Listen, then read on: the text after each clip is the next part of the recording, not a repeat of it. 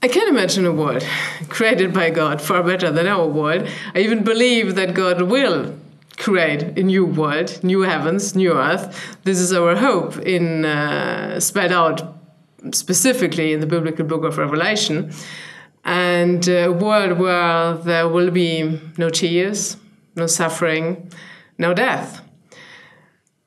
And so then the question, I think, which arises is so why did God create a world which is not the perfect world? Um, I think in the end, I don't really have an answer to it.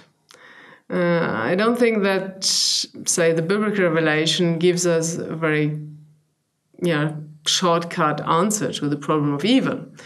Um, but it gives us hope that God is present with us in this world, that uh, He even came into our suffering by in His Son, so dying on the cross, and that He will create this perfect world.